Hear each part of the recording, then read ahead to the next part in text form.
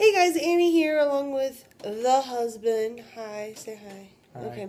So, happy Valentine's Day, everybody. So, to celebrate, we got ourselves a sort of specialty wine. It's from Cupcake, but it is red velvet wine. And it is supposed to taste like red velvet cake and chocolate and berries and all kinds of deliciousness. It doesn't smell terrible. I pour myself just a little, little tiny bit because I'm not a big wine person. He's got himself a more normal glass because it's alcohol and he'll drink it.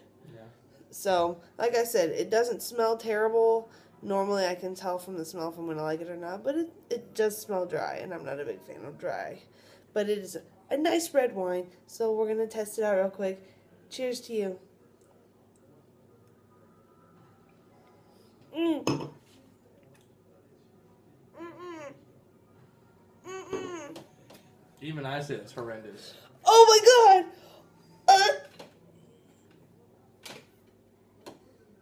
There's, there's nothing red velvet about that. that is horrible! That is. Oh my god, that is. Don't buy it! Don't buy it! That is the most disgusting thing I've ever tasted in my life! Yeah. I feel really bad now because the kids watched or were watched by some friends last night and we bought them a bottle of this as a thank you because they're big winos. Ugh. Although they, they, they like drier wines. Yeah, they're. Lisa does like drier wines, but that is Yeah.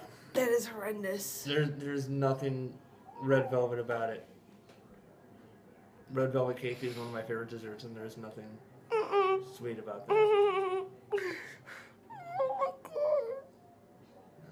my Yeah. Okay. Note to self: never buy this wine again. That's all I got for you guys. Bye.